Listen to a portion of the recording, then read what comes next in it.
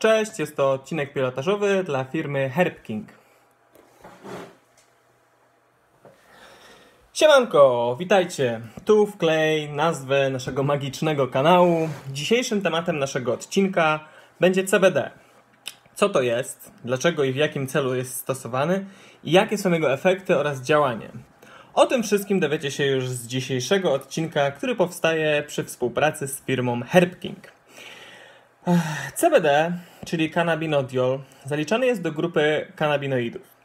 Jest on jednym z ponad setki występujących w konopiach związków organicznych i w konopiach siewnych jest jedną z czterech głównych substancji, obok dwóch e, bardzo przez wiele osób lubianych e, polimerów THC oraz CBN, e, które pominiemy na potrzeby tego wideo. CBD jest to związek chemiczny nie wykazujący właściwości psychoaktywnych, dlatego traktowany jest jako e, substancja o działaniu terapeutycznym e, bardziej niż rekreacyjnym. I w dobie e, prowadzonych dyskusji na temat wprowadzenia na rynki różnych krajów medycznej marihuany, która e, wciąż wywołuje wiele dyskusji wśród lekarzy e, na temat statusu, czy jest to lekki narkotyk, czy bądź też substancja rekreacyjna. E, produkty CBD traktowane są jako suplement diety, mający poprawić standard życia bez udziału efektów psychoaktywnych. Dlaczego warto stosować w ogóle CBD oraz jakie są tego efekty? Obecnie CBD jest substancją bardzo dobrze przebadaną i ma szereg pozytywnych e, właściwości, które wpływają na nasz organizm. Między innymi jest, e, działa on przeciwzapalnie oraz autoimmunologicznie, e, doskonale łagodząc wszelkie stany zapalne, chroni neuroprzekaźniki przed degenerowaniem oraz spowalnia procesy starzenia się w komórkach. Zmniejsza wpływ toksycznych substancji oraz, e, anty, e, oraz działa antyoksydacyjnie, co jest bardzo korzystne w leczeniu e, osób, które przebyły udar bądź mają inne formy uszkodzenia mózgu. Doskonale łagodzi skurcze mięśni u osób ze stwierdzonym stwardnieniem rozsianym.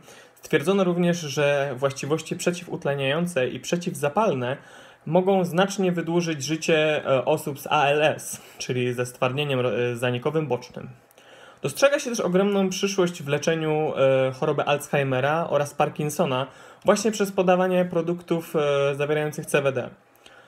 E, ma on mm, właściwości przeciwnowotworowe, dzięki czemu spowalnia rozrost komórek rakowych oraz wspomaga białe krwinki w walce z nimi jednocześnie zwiększając wrażliwość komórek nowotworu oraz ograniczając ich produkcję, w en produkcję energii, która jest niezbędna do ich rozrostu. Ale to jeszcze nie koniec. Oleje z CBD doskonale łagodzą objawy schizofrenii, a także w znacznym stopniu ograniczają częstotliwość e, napadów e, epilepsji. Z prowadzonych badań wynika, że u ponad 40% badanych wysoko stężony olej CBD zmniejszał częstotliwość napadów aż o połowę. Fenomenalne. Innym, e, innymi korzyściami, które płyną z przyjmowania CBD są znaczne e, zmniejszone lęki, większa równowaga i spokój u osób narażonych na, na długotrwały stres. E, CBD pomaga również w walce z symptomami oraz samą depresją oraz znacznie redukuje odczuwanie bólu. E, idąc dalej, doskonale łagodzi nudności oraz poprawia apetyt i choć brzmi to trochę paradoksalnie, według badań osoby stosujące w swojej diecie CBD miały znacznie niższy indeks BMI. Badania wskazują również na zmniejszoną e, zachorowalność pacjentów używających e, CBD na, mm, i cannabinodiolu na cukrzycę typu pierwszego oraz korzystny wpływ na układ sercowo-naczyniowy. Innymi benefitami e, płynącymi z przyjmowania mm, cannabinodiolu e, jest znaczne zmniejszenie bezsenności, wydłużona faza snu REM, sen jest wtedy znacznie głębszy, a badania dostrzegają znaczną różnicę w jego jakości. Kończąc listę tych wszystkich potencjalnych zalet, należy nadmienić również terapeutyczne wartości CBD w walce z uzależnieniami takimi jak e, opioidy oraz palenie papierosów. E, pomaga on również w pozytywny sposób e, hamować działanie takich chorób jak trądzik czy łuszczyca poprzez e, spowolnienie podziału komórek skóry, które związane są z tymi schorzeniami. No dobrze, no ale taki ten CBD super, a jakie mamy skutki uboczne, zapytacie? Ogólnie rzecz biorąc, CBD jest dość dobrze e, tolerowany i bezpieczny nawet przy wysokich dawkach i długotrwałym stosowaniu u ludzi. Negatywnym skutkiem jest natomiast zmniejszenie aktywności e, limfocytów B oraz T, co może pogarszać stan u osób zarażonych e, wirusem HIV, wpływać na rozrost guza oraz na przerzuty.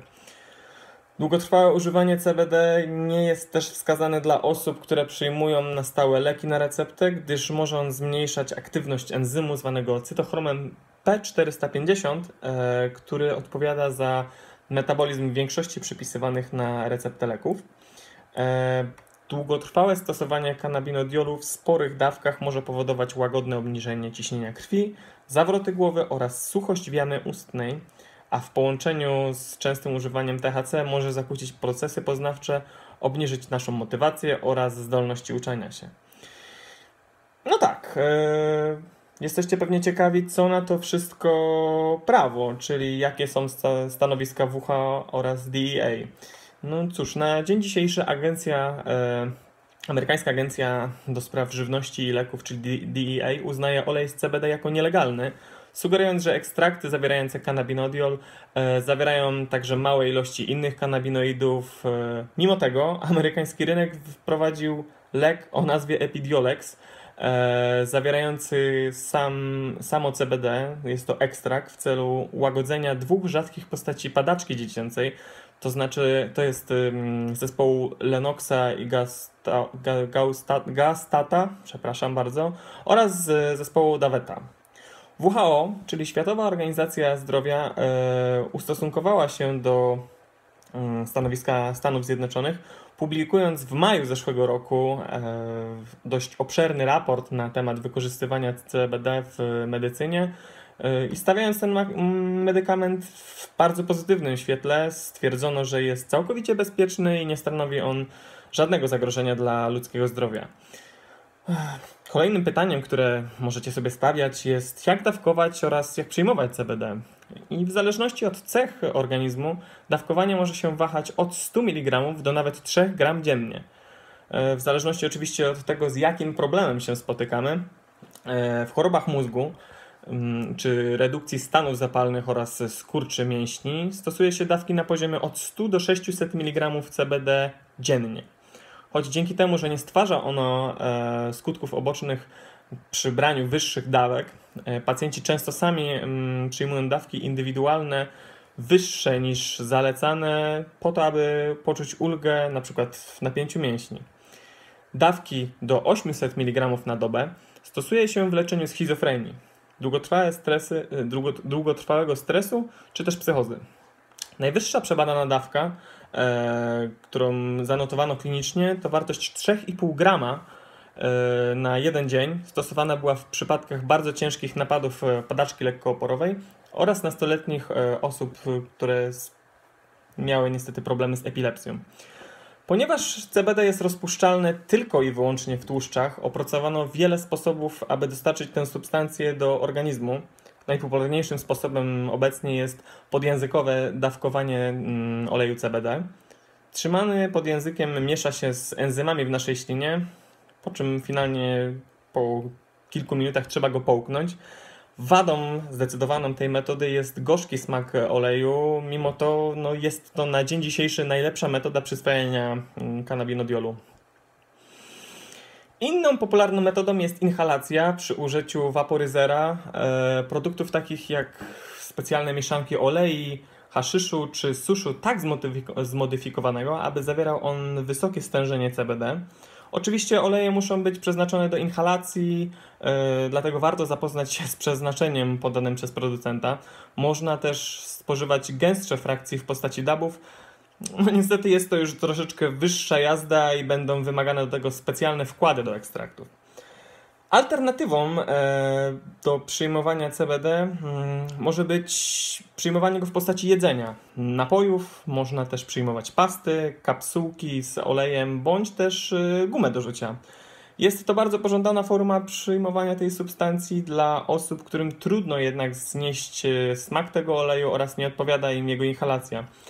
Y, Jest to również sposób przemycania y, przez rodziców dla dzieci y, CBD w niektórych uzasadnionych wypadkach.